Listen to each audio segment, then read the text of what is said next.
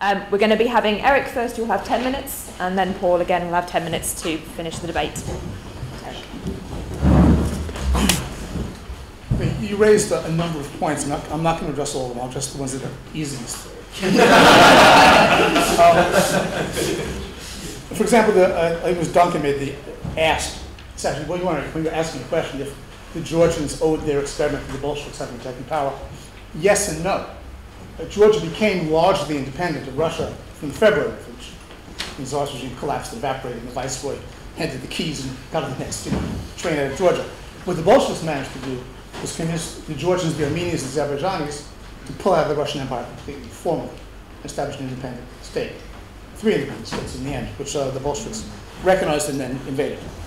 Um, I think you also made the point that about the Bolsheviks, and some, several of you, men including the Bolsheviks, kind of embracing the Soviets, representing the Soviets, leading the Soviets again and again. And yet, I know I, I keep taking us beyond 1917, but it's just sorry, it, this meeting is not being held in January 1918. It's 100 years later. We're allowed to know what happened next. What happened next was the Bolsheviks gutted the Soviets. They gutted them.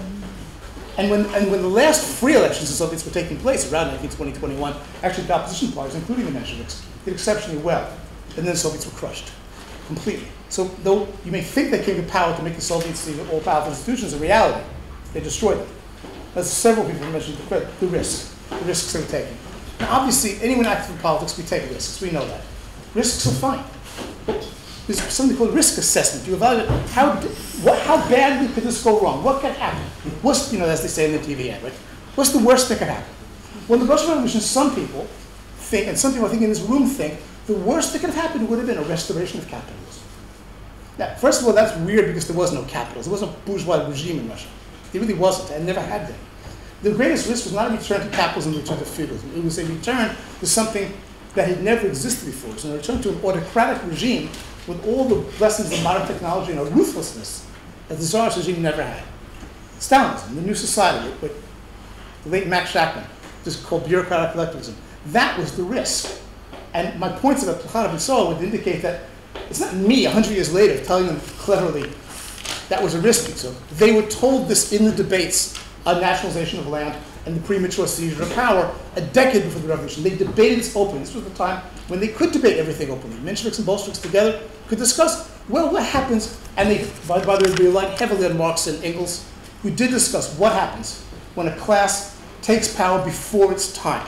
And there were examples of that. And it was described by Marx Engels as a great tragedy. I think it was Ben discussed um, the democratic decisions that preceded the seizure of power. Now, there was plenty of democracy happening in Russia prior to the October Revolution. I don't doubt that. I don't deny that. I accept it. There were loads of discussions and debates and everything open. The actual decision to seize power and to create the Soviet, the uh, Council of People's Commissars, was a decision made in the Central Committee of the Bolshevik Party. Historic fact. That was not a decision taken by the Congress of Soviets, which hadn't even met yet.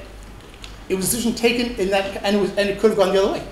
If Zinoviev and Kamenev had persuaded four or five other members, they wouldn't have done it. And they had many reasons, and historians analyze why did the Bolsheviks decide at that moment to seize power. Lenin didn't want to seize power early. He didn't want to wait for the Congress of Soviets. Um, Dan, I, I, like you too. My brother picked that out put that out. Um, I, uh, I dedicated my book, which will be available on sale for September 15th, um, to Dan. no, I wish I had known. No, the, the, book is dedicated to, among others, Max Shachtman. Because um, the Max Shachtman that, that, that, I respect is because the whole of Max Shachtman. from, his, from his early years as a great revolutionary to his right. mature years when he rethought Bolshevism and drew some correct conclusions. Um, Andy, yes, opportunist is probably a bad word. I was using it in the sense of uh, the Bolsheviks seized an opportunity. And the opportunity was not that millions of workers were calling them to seize power. I don't believe that was the case. The opportunity was that they were up against a, a feeble, weak regime that, as history proves, could be toppled by basically a handful of red guards pouring into the Winter Palace. All those wonderful movie scenes you've seen the storming of the Winter Palace, of course, are fictional.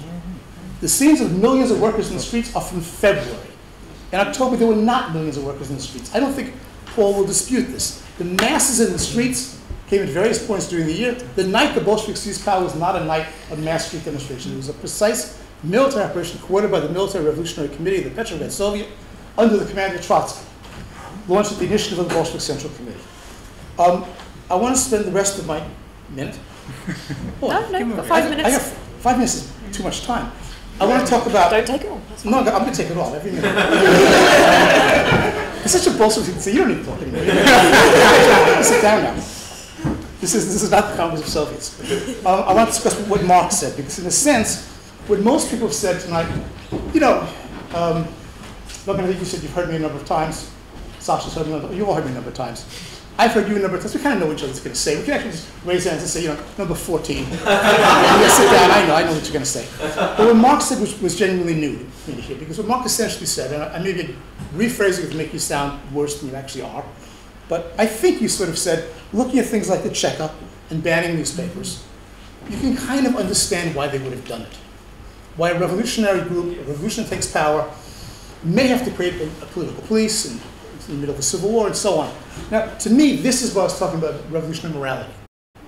Because the first meeting I ever attended of Workers' Liberty, I think, back when some of us were very young and really good looking, um, was talking about the Yugoslav war, uh, Kosovo. And Sean went into old prophet mode, Old Testament prophet mode, he sometimes does, and talked about how groups like the Socialist Workers' Party had lost their moral compass. I never forgot the phrase, I never heard it before. To me, to speak about the Cheka in any terms other than to utterly condemn this institution from day one for its brutality, its mass murders of innocent people, and the stain it put on Bolshevism and on socialism. How you could not 100% blanket condemn that, and instead say, well, you kind of have to understand why they would do that. I think there is a loss of moral compass here. It's not a personal accusation. I think it flows from, you know, you, you want to back you want to back Bolsheviks because everybody wants to be Bolshevik. Everybody thinks the Bolsheviks were really, I mean, he really did a real revolution. He really went out there and did it. I get that. I get the romantic appeal of the Bolsheviks. I'm inspired by them. There were wonderful people became Bolsheviks. In the course of the Bolshevik Revolution, magnificent things were done. I know that. We all know that. We see it in literature and art and some of the measures taken there. Great things were done. Of course they were. And millions of people over the decades, of course, went into the communist movement. But we are better than that. We who came out of the Trotskyist movement, came out of the Fourth National, knew that the communist movement was poisoned by what the Bolsheviks did, by what Stalin did. I'm just taking it back a couple of years. Paul's book begins by saying we're going to talk about the 10 years that Russia had, those wonderful 10 years of revolution. 10? I wouldn't say one. The Red Terror is in the first year, the Cheka is in the first year, the Gulag is in the first year. You read Solzhenitsyn's The Gulag Archipelago, the first volume, the first chapter talks about, let's not talk about 1937, let's talk about 1917. And he's absolutely right. And this is what we have to learn as revolutionaries. To be completely honest about this. Lenin and the Bolsheviks from day one create institutions like the Cheka that are morally reprehensible and cannot be defended by a, by a socialist. You can't call yourself a socialist and say the Cheka and the Red Terror were, were okay things. They were terrible things. They're unjustifiable. I would never be in a party that would do such a thing. If, if I was in a party, I would repudiate it completely and utterly. And Dzerzhinsky was a murdering scum who was followed by people who were infinitely worse than him, and it was built into the system. The Cheka would attract the absolute worst people to lead it. All the crimes that we think about, we think about the Soviet Union, all the worst things they did were done by Dzerzhinsky and his successors. That to me is absolutely indefensible, as is the suppression, particularly of the Menshevik Party, both in the Soviets and their press, and the left Mensheviks, and the Menshevik internationalists, and the Mensheviks who opposed the war, and the Mensheviks who were Marxists and revolutionaries like Martov, they were all suppressed. They were all suppressed. Only one party ruled. Only one party ruled against all other socialist parties and crushed them all. That's indefensible. It's morally indefensible.